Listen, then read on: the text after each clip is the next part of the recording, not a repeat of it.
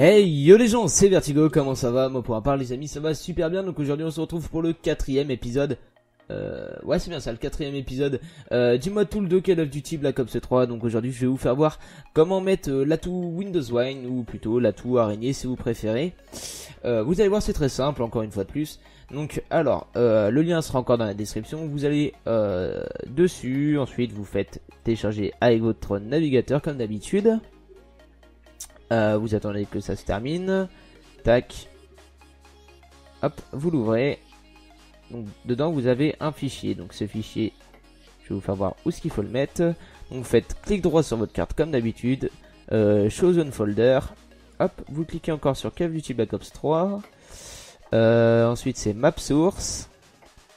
Euh, ZM. Ce coup-ci. Et non attends, c'est pas ZM. C'est prefab je crois. Voilà, prefab. ZM. ZM, ouais pareil. Euh, ZM Core. Tac, et dedans, vous le mettez dedans. Enfin, ouais, voilà, vous le mettez dedans tout simplement.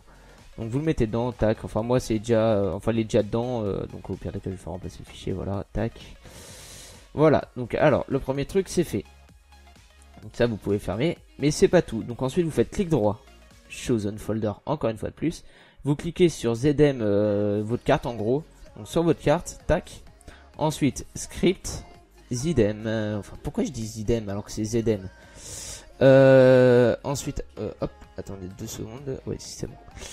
Euh, ensuite, vous ouvrez votre votre truc, le GSC.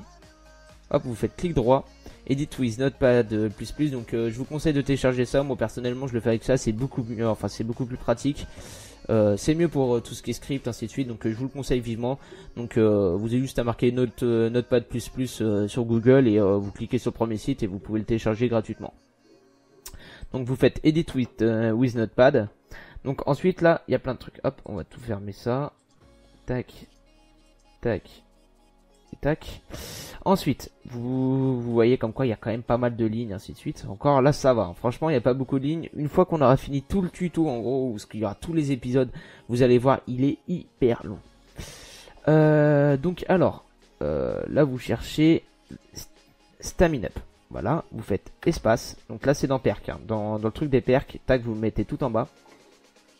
Ensuite, euh, tac, je vais faire ça. Copier. Je l'ai récupéré juste avant pour être pour aller plus vite. Donc vous inquiétez pas. Donc le, truc que je vais euh, marquer, vous faites CTRLV ou euh, clic droit coller tout simplement.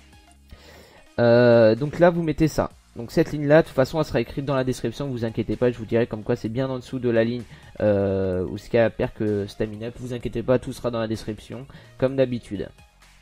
Donc une fois que ça c'est fait, vous faites enregistrer, tac, vous pouvez fermer.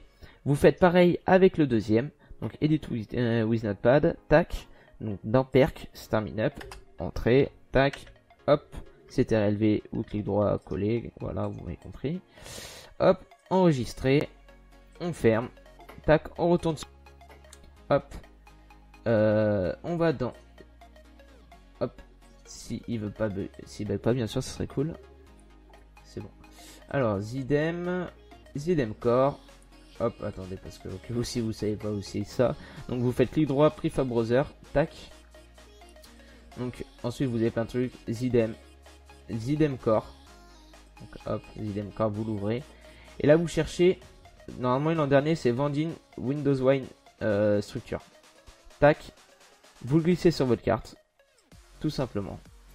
Tac, hop, vous le faites glisser, je sais pas, par, euh, exemple, on va le mettre juste à côté. Euh, je crois que c'est Mastodonte le dernier. Hop, on va le mettre juste à côté de Mastodonte. Tac, donc on va zoomer un petit peu, on va bien le mettre par rapport aux autres.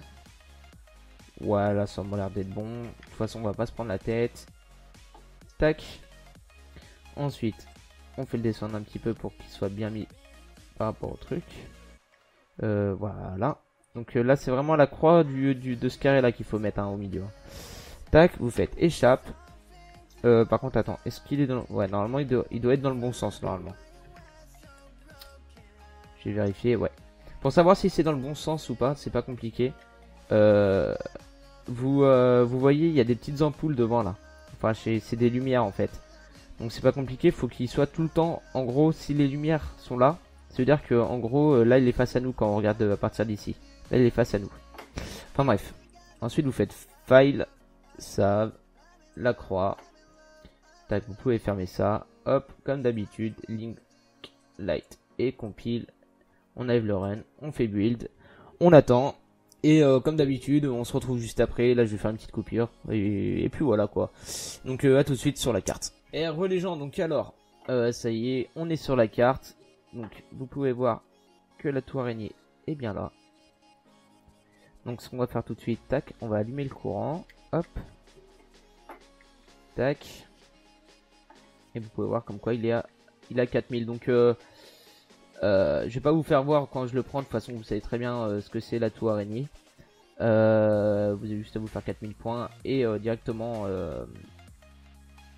merde comment ça s'appelle bah, bah, le prendre tout simplement et puis voilà quoi donc rien de compliqué jusque là donc donc voilà donc tac hop hop donc euh, moi je vais vous laisser sur cette fin comme d'habitude. Euh, si vous avez aimé cette vidéo, n'oubliez pas de liker, de commenter, de partager, ça fait toujours plaisir. Et moi sur ce je vous dis à plus tout le monde. Tchuss.